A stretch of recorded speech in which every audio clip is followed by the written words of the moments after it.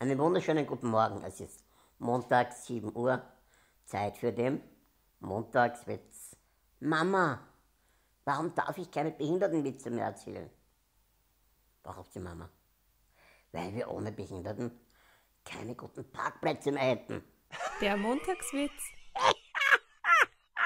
Das war der Montagswitz für die Woche.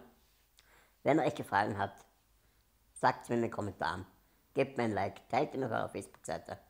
Und wenn ihr mir ein Abo da lasst, seid ihr nächste Woche wieder dabei beim nächsten Montagswitz. Danke fürs Zuschauen. Schöne Woche.